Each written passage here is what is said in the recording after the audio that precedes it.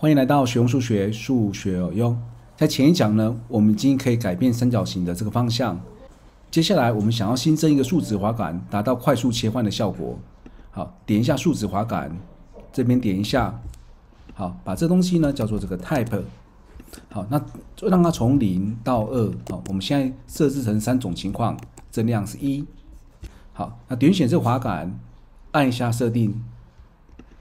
对，那设定里面呢，我们再点程式。好，在这边我们就可以设置脚本来改变。好，那我们今天要设定这个 vs 的数值。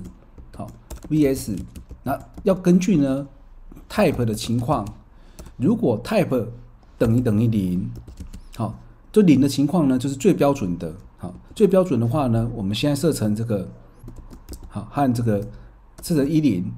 好，那接下来呢，再加入第二个判断，type 等等于一。好，那这边呢还是设成一零。接下来最后一种情况就是 type 等等二。好，那这种情况呢，你不需要再加判断式，我们就可以把这个呃一除掉三的零点五次方和一，把它输入进去。好，这样子呢就完成我们的 v_x 的设定。接下来 v_y 也是类似的。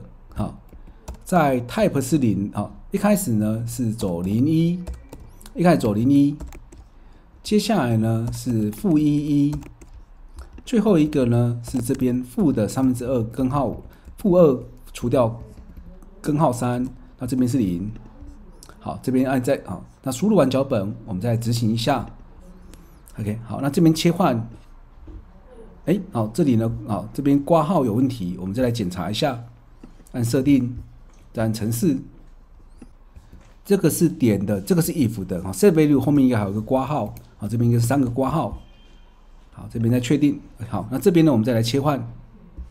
这样子呢，就得到这三种的切换。好，最后可以再将这两个滑动条叫出来。好，那稍微改变一下它的位置。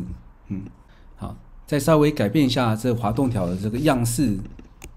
好，跟宽度。好，那颜色呢，也可以再做调整。对，那对这个 n 的部分呢，也是一样。现在就完成我们的蛇形序列的操作。好，那你也可以再将这个，嗯，你也可以将这两个向量藏起来，好，让画面简洁一些。这边还有一些进阶的拓展，就是你可以拉个小圈圈呢，去改一下位置，而且让它算出来。好，这边就让大家自己思考一下喽。简单回顾一下，这蛇形序列其实是通过双层循环时就可以达成的，通过 if 跟 reverse 达到这个蛇形的效果。另外呢，通过向量，我们就可以改变这序列的摆置方式。鼓励你利用这方法来探究更多，来用 j o j b a 来制作更多序列吧。